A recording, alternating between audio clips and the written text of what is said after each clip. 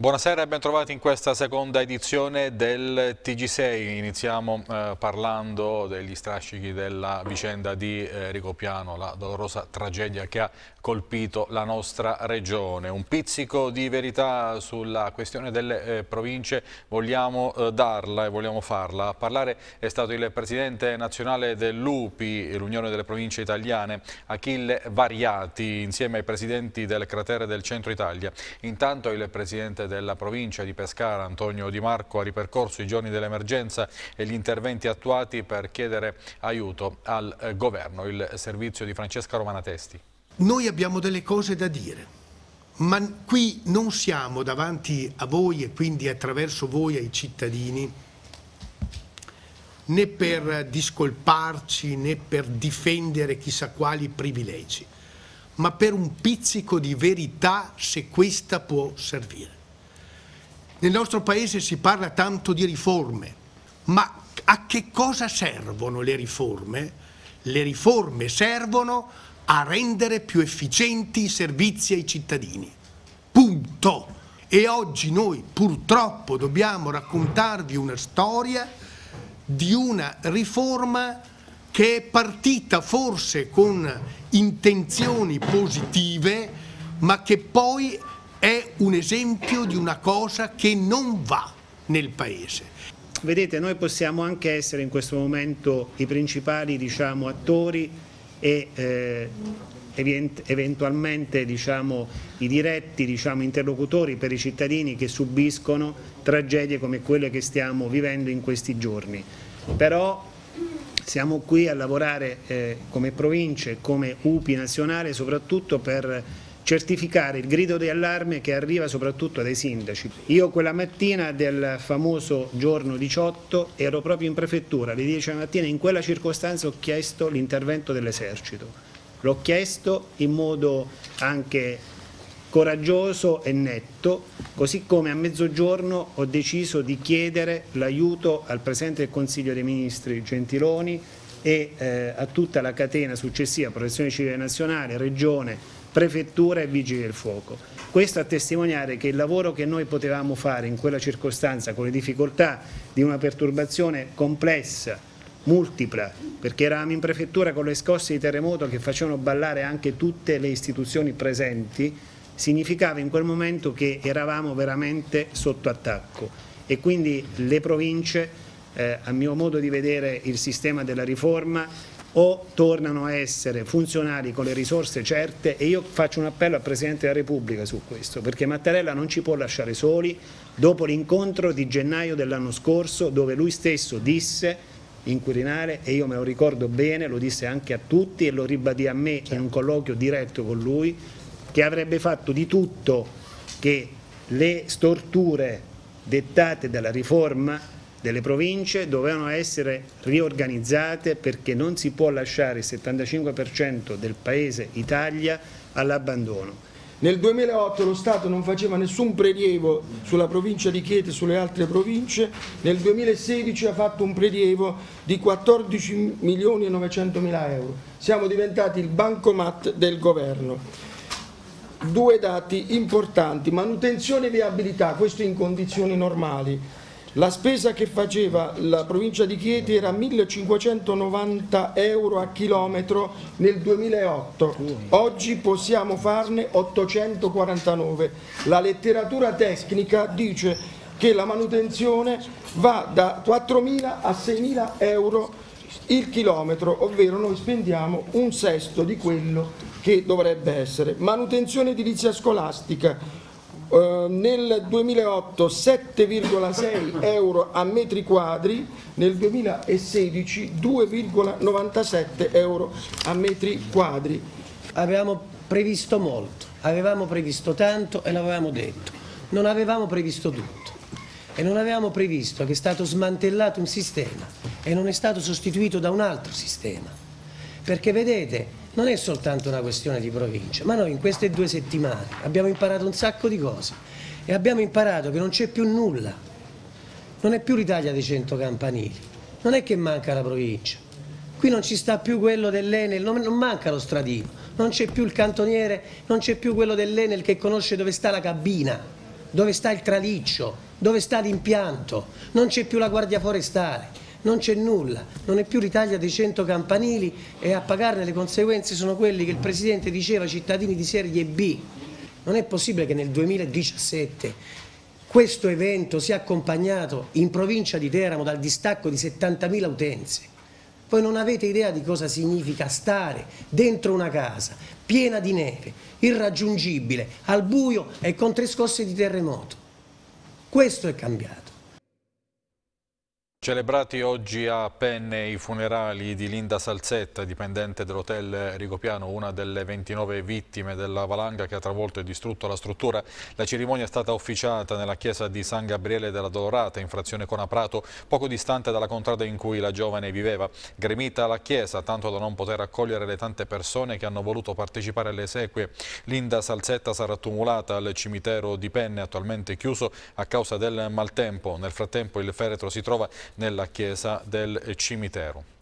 E eh, lutto cittadino domani a Pescara nel giorno dei funerali di Roberto Del Rosso, proprietario dell'hotel eh, Rigopiano, appunto tra le 29 eh, vittime della Slavina.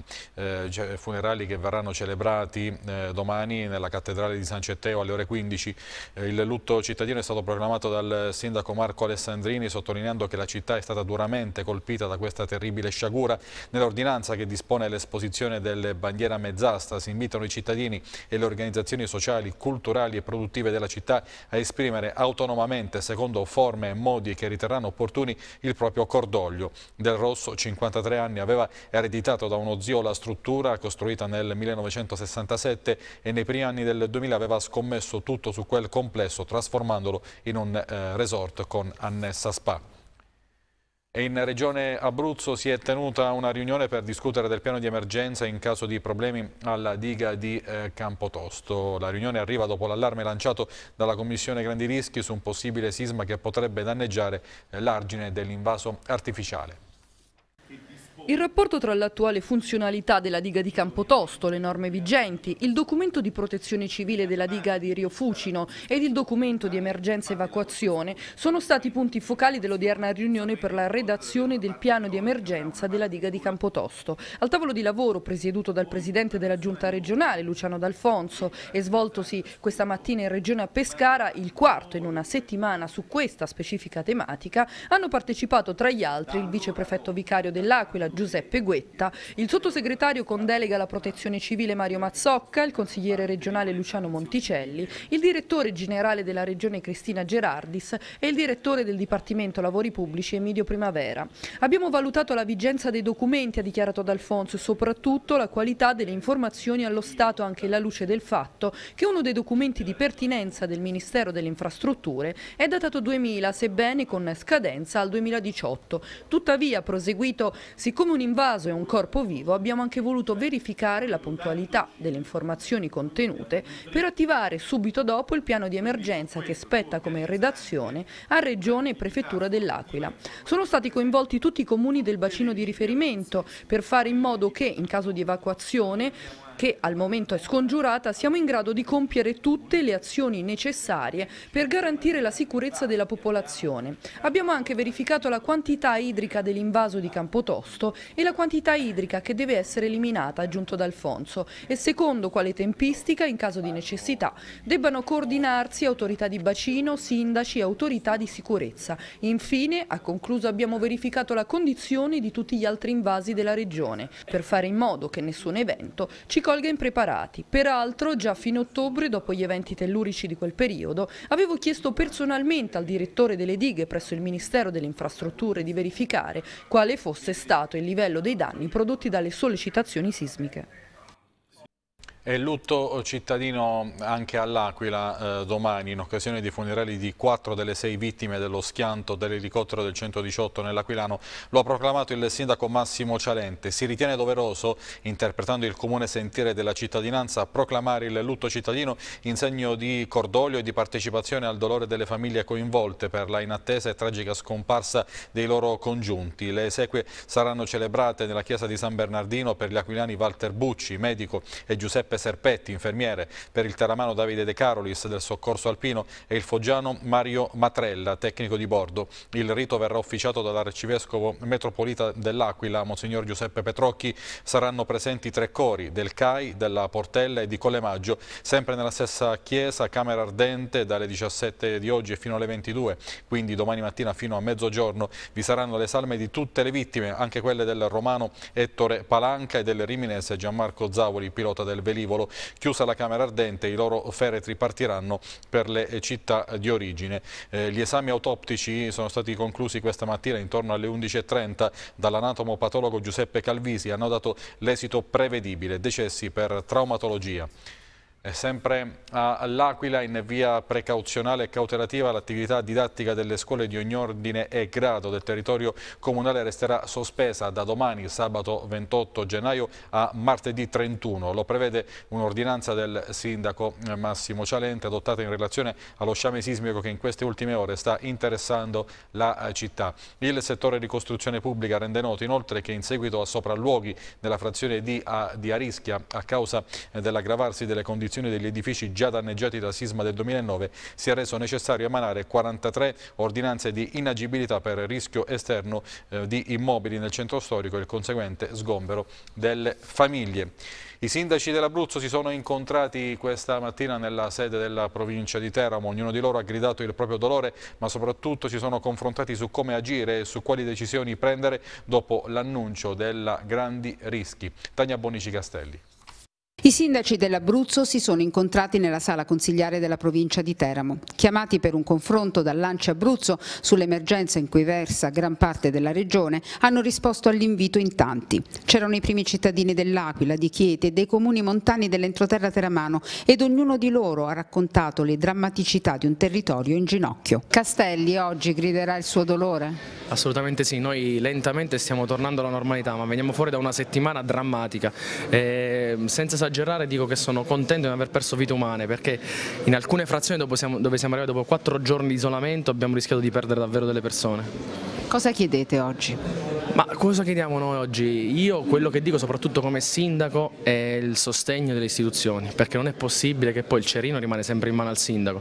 Le responsabilità sono sempre in capo a noi, adesso c'è questa spada di Damocle della nota della Commissione Grandi Rischi, noi non sappiamo cosa fare, a noi chiamano le mamme e ci chiedono sindaco quando riapriamo la scuola, io sinceramente non so che risposta dare a queste persone. Voi che cosa chiedete? Quali soluzioni proponete? Ma ci sono delle soluzioni molto concrete, abbiamo tanti di noi, eh, tanti soldi parcheggiati e non eh, utilizzabili a causa dei vincoli di bilancio. Vogliamo utilizzare queste economie, ce le abbiamo, ce le abbiamo in cassa, non le possiamo toccare, che ci mettessero in condizione di poterle utilizzare. Sindaco, ma in base alla sua esperienza drammatica, noi da questo dramma come ne usciamo? Innanzitutto con la sicurezza. Molto del problema rispetto a questa tempesta perfetta che abbiamo avuto è legato soprattutto qui nel Teramano e nell'Aquilano al problema del terremoto che sta generando questa sensazione di insicurezza che se viviamo noi si figuri come viene vissuta coloro che dovrebbero investire o venire qui da noi, quindi è un colpo all'economia drammatico.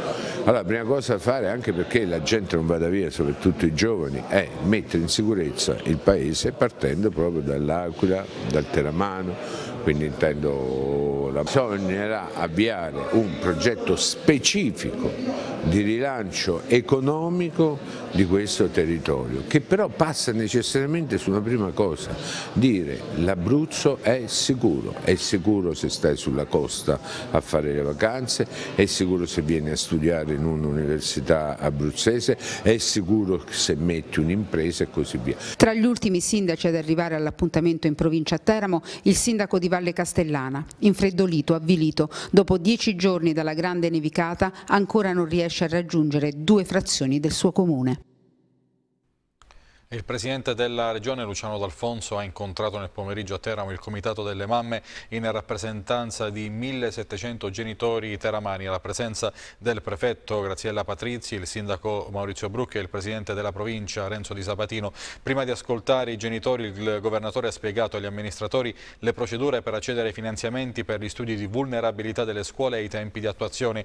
I genitori di Teramo chiedono a gran voce scuole sicure e trasparenza sugli appalti. Il Sindaco Brucchi ribadisce ribadisce la volontà di non riaprire per il momento gli edifici scolastici in attesa di trovare soluzioni diverse dopo aver effettuato tutti i controlli possibili, anche se, aggiunge Brucchi, prima o poi si dovrà tornare a scuola per non perdere l'anno scolastico. Il Presidente D'Alfonso ha chiesto ai sindaci e ai genitori di non cadere nella trappola dell'allarmismo ingiustificato.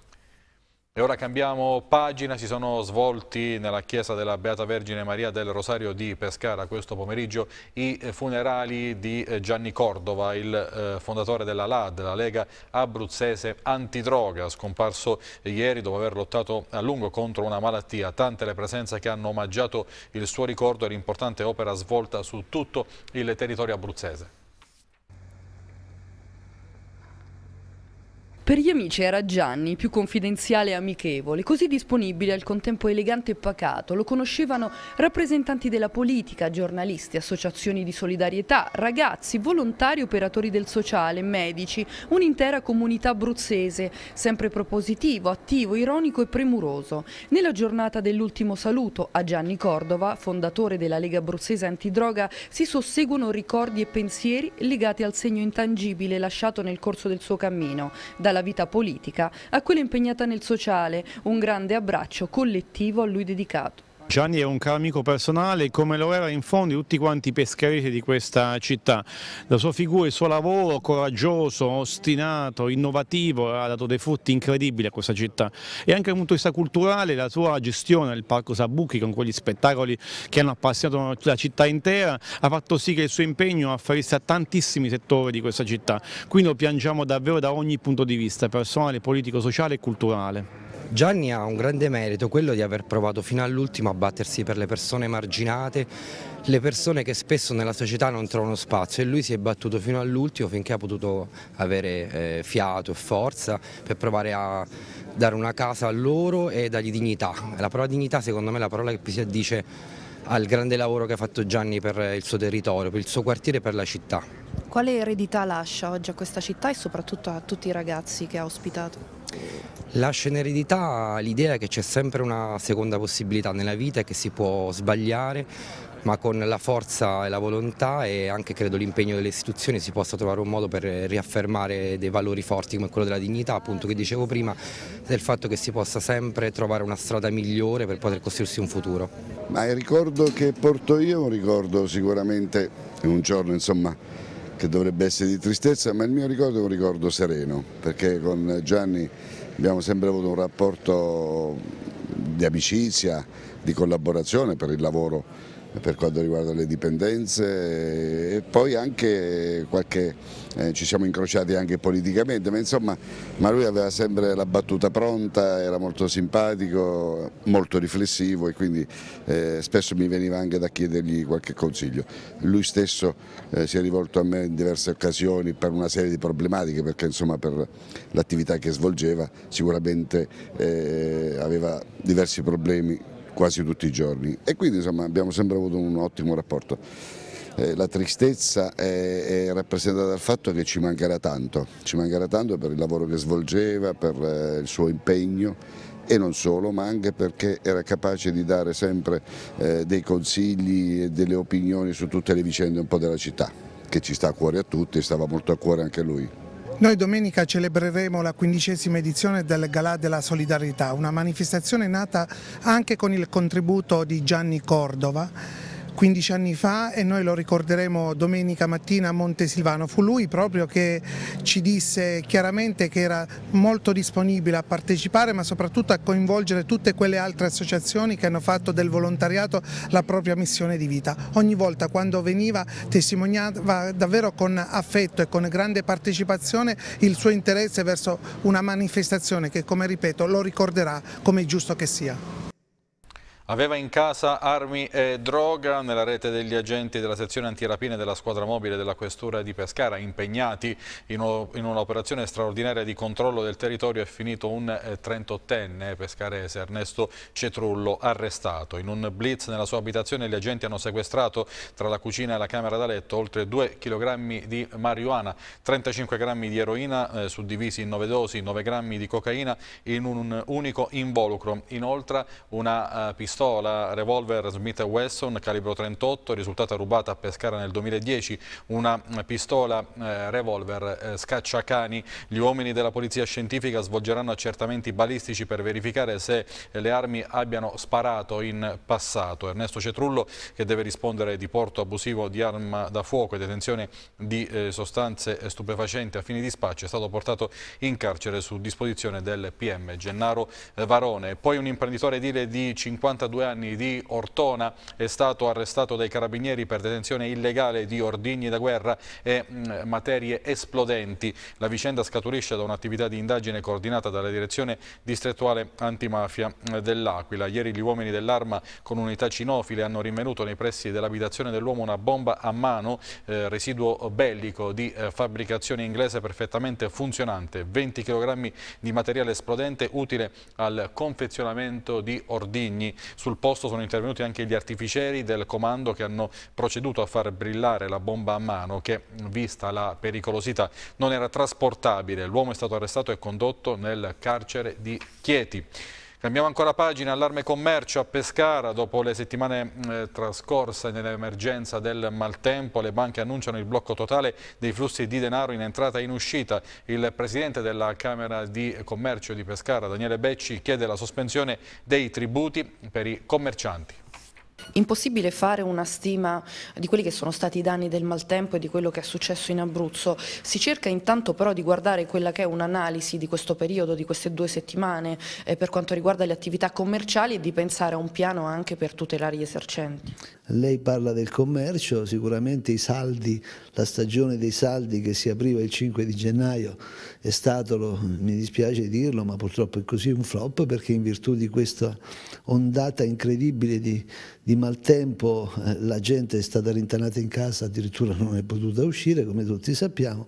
Penso ad altre attività come quelle dell'agricoltura o quelle dell'allevamento dove i danni sono ancora da contabilizzare e da, e da stimare perché è stata un'ondata incredibile eh, di, eh, era, era, aspettata ma sinceramente non in queste proporzioni.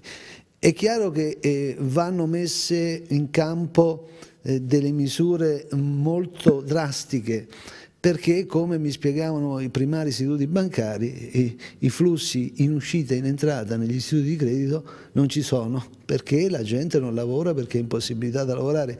Quindi al di là dei danni alle infrastrutture, alle strade, alle case, alle industrie c'è un danno proprio di mancanza di attività per cui penso a, a, quelle aziende che hanno degli impegni, delle scadenze a, a, fine mese che non avendo potuto operare, non avendo lavorato, non so quanti saranno in grado a mantenere i loro impegni. Per cui c'è qualcosa di, di più vasto, questa di più importante da prendere in esame, penso a una sospensione per qualche mese eh, degli obblighi da parte del sistema delle aziende perché non potendo lavorare, ribadisco, non potendo eh, eh operare di fatto si ferma un po' tutto il processo economico. Nel giugno scorso ho avuto occasione di visitare a Gerusalemme il memoriale israeliano dell'Olocausto. Ricordo in particolare di essermi soffermato a lungo nella sala della memoria davanti alla fiamma eterna che simboleggia il ricordo della tragedia. Lo scrive il presidente della giunta regionale Luciano D'Alfonso che aggiunge la giornata della memoria, si celebra oggi e che fu istituita per ricordare le vittime dell'Olocausto. È un momento fondamentale di riflessione, lo sterminio di un popolo è un crimine contro l'umanità e non deve mai più eh, ripetersi affinché eh, non si perpetuino altri eventi del genere, sottolinea D'Alfonso, è necessario tenere vivo il ricordo di quanto accade non solo nella Germania nazista ma anche in tante parti d'Europa, Italia compresa. Mai più genocidi, mai più eh, persecuzioni. L'emergenza per l'onorevole Teramano eh, Paolo Tancredi, deputato di NCD, e ora la mm, desertificazione del territorio abruzzese, dati eh, preoccupanti anche sull'abbandono dell'Università di Teramo. Si pensa ad una zona franca per aziende, eh, artigiani e autonomi. Far tornare l'Abruzzo ad essere una terra attrattiva per turisti, studenti ed imprenditori è questo ora l'arduo compito della politica locale che deve mettere in campo creatività e saggezza per chiedere e pretendere misure adeguate al Paese Italia. Una misura che chiederete al governo potrebbe essere quella della zona franca per l'Abruzzo, per il, i comuni del cratere? Sì, poi la zona franca è comunque una definizione generica che poi va definita, va precisata e dettagliata. Eh, altre volte, insomma, per esempio le zone franche così annunciate non hanno avuto tutto questo successo. Io la penso, eh, sarà impopolare quello che dico, penso che vadano eh, tutelate prima di tutto le imprese e eh, i lavoratori autonomi, i professionisti, gli artigiani che hanno avuto penalizzazioni e rischiano di averle per il futuro e quindi dal punto di vista di esenzioni fiscali, sgravi e compagnia. Secondo me in secondo tempo vengono i dipendenti pubblici e i dipendenti. Noi non possiamo utilizzare tante risorse perché chi continua comunque ad avere uno stipendio, salvo che gli vanno riparati i danni, i danni subiti, le case e compagnia, però l'esenzione fiscale su quelli forse è meglio.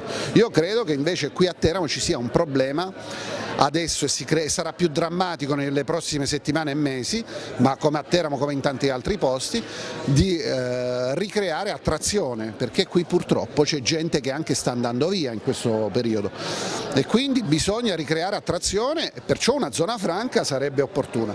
Oggi siamo qui all'università, io purtroppo ho dati molto preoccupanti anche sull'abbandono dall'Università di Teramo. Eh, quello che mi dicono sono che gli Erasmus hanno già lasciato Teramo dopo le prime scosse di terremoto e ci sono anche parecchi che dopo il terremoto del 30 ottobre, dopo le preiscrizioni avevano annullato le iscrizioni. Sono notizie che mi arrivano informali e eh, non ufficiali, ma per me sono molto preoccupanti. Quindi un'altra cosa da affrontare immediatamente è quella dell'Università di Teramo. Noi dobbiamo mettere in campo tutte le misure che eh, eh, evitino e allontanino il più possibile lo spopolamento della città. Apriamo la pagina dello sport, il presidente della Federcalcio Carlo Tavecchio ha disposto un minuto di silenzio da osservare prima di tutte le partite dei campionati di calcio in programma nel fine eh, settimana in omaggio alle vittime della tragedia di Rigopiano e dell'incidente occorso ai soccorritori del 118 in Abruzzo. E per eh, il eh, Pescara che domani sera affronterà a San Siro l'Inter ci sarà una formazione tutta da decifrare, fuori causa Girardino Marino, Brugman e in ultima istanza anche Fornasier, per lui un eh, problema muscolare al retto eh, femorale. Poi fuori causa anche Muntari, indisponibile per l'assenza ancora del transfert. Si rivede eh, Ghiomber che però non ha i 90 minuti nelle gambe. Buyback ha smaltito l'influenza ma sul suo impiego si deciderà in extremis. Oggi però in conferenza stampa l'attenzione di Massimo Oddo è stata eh, rivolta su un'analisi dell'attuale eh, momento e anche con delle prospettive di eh, futuro su quello che può essere il suo futuro ancora a Pescara. Ma non siamo retrocessi assolutamente, mancano 18 partite. E in 18 partite nel, il calcio ci insegna che può succedere di tutto, ovviamente è una situazione difficile, difficilissima, però noi lavoriamo per uscire dai, dai, si lavora per uscire dai momenti difficili, questo è inevitabile. Quando, quando, quando sei ferito fai di tutto per, per curarti, non certo vai a morire e questo è quello che dobbiamo fare noi. Dobbiamo lavorare per cercare di curare le nostre ferite, che siano grandi, grandissime, però dobbiamo, dobbiamo fare di tutto per curarci. E quindi l'unica soluzione è quella di dare tutto ogni domenica, affrontare partita per partita, cercando di raccogliere il più possibile, poi, poi si vedrà. Eh, ma io ho un contratto di tre anni, se io firmo un contratto di tre anni, non è che lo firmo perché così, perché per avere tre anni di contratto, non, non ho bisogno e non, non mi interessa. Se, fa, se, firmo un contratto di tre anni è perché credo in un determinato progetto che c'è, non è che è un dramma se uno cioè, ci, l'avevamo messo in conto. Mm, poi noi abbiamo fatto certamente Eh vabbè, ma abbiamo sbagliato. Abbiamo... Quando, quando, quando, le cose vanno così ci sono, sempre, ci sono sempre degli errori che si fanno e questo noi l'abbiamo sempre ammesso, l'ho ammesso io, l'ho ammesso la società e lo ammettono i, i giocatori, ci mancherebbe. Però non è che se, se, se si dovesse andare giù e, e, scompare tutto, anzi quello sarebbe il brutto, se dovesse scomparire come fanno tante squadre, invece io credo che questa sia una società che sapeva benissimo di andare su, voleva salvarsi, ha ancora la possibilità di farlo, ci mancherebbe, ma se dovesse andare giù è perché si sono commessi degli errori. Certamente ho, ho fatto un errore di, di valutazione, ma rimango convinto che questa squadra non è Mm, non vale, non vale 9 punti, anzi non vale 6 punti, ma vale di più. Ha sbagliato una partita, io non penso che Bizzarri abbia sbagliato tutte queste partite quest'anno, soprattutto una squadra che, che, che, comunque una piccola squadra di Serie A che, che lotta per salvarsi, eh, gli eroi ci sono, poi i portieri delle piccole squadre sono più soggetti ovviamente, sono, sono più avvantaggiati perché possono fare tante parate ma sono certamente più soggetti ad errori. E nelle ultime ore il tecnico dell'Inter Pioli pensa a diversi cambiamenti, in parte per una squalifica quella di Ansaldi ma in parte anche per il turnover in vista dei prossimi impegni in Coppa con la Lazio e poi il 5 febbraio in campionato in casa della eh, Juventus. Quindi al posto dello squalificato Ansaldi dovrebbe giocare Santonna a sinistra a destra invece al posto di D'Ambrosio che potrebbe riposare potrebbe giocare Andreolli a centrocampo Brozovic prenderà il posto di Condogbia mentre in attacco potrebbe esserci un avvicendamento clamoroso nel ruolo di centravanti con Palacio eh, che prenderebbe il posto di Icardi, che anche lui sarebbe preservato, e a sinistra potrebbe toccare a Eder eh, prendere il posto di eh, Perisic. Ascoltiamo le eh, parole del tecnico nerazzurro. C'è il rischio di sottovalutare un po' la gara col Pescara? No, credo proprio di no, anche perché siamo solamente concentrati sulla, su questa partita, sul nostro campionato, sulla nostra classifica e sulla nostra voglia di, di continuare la nostra striscia positiva. Io non lo dico solamente ma lo penso anche, che la partita più importante per noi è la prima che arrivi. Ripeto perché abbiamo tante, tanta voglia di continuare il nostro momento, abbiamo avuto una lezione positiva di quello che ci aspetta sabato sera, nel senso che la partita di Palermo dove tutti ci davano vittoriosi facilmente non è stata così e quindi sappiamo quello che andiamo incontro, ci siamo concentrati solamente, focalizzati solamente sulla partita di sabato sera il campionato è molto importante, poi dopo solamente dopo la partita di sabato poi penseremo ad altro. Chi insegue sa che il proprio destino dipende molto da se stesso, ma che non può dipendere solamente e esclusivamente da, da noi e che dipende anche da quello che faranno quelli davanti. Poi è chiaro che se noi continueremo a vincere vuol dire comunque sicuramente accorciare un, accorciare un po', la classifica, però noi dobbiamo rimanere concentrati sulle nostre situazioni, sulle nostre partite. Sappiamo che da qui al 28 maggio dobbiamo vincere più partite possibili per cercare di rimontare in classifica e che poi vorremmo cercare di vincere più partite per cercare di far diventare determinanti gli scontri diretti che, che poi dopo ci vedranno con, contro Roma e Napoli giocare a San Siro. E ora la Lega Pro, nel pomeriggio è stato presentato il neodifensore centrale del Teramo, Vincenzo Camilleri, arriva eh, dalla Paganese, ha sottoscritto un contratto fino alla fine della stagione e eh, conferma Camilleri che quella con il Teramo è stata una uh, trattativa lampo, in particolare con il DS Bolla. Innanzitutto una, una sfida affascinante secondo me, perché il Teramo a parer mio non merita questa situazione di classifica, parlo di, di organico, di società. E quindi ho voglia di mettermi in gioco qua.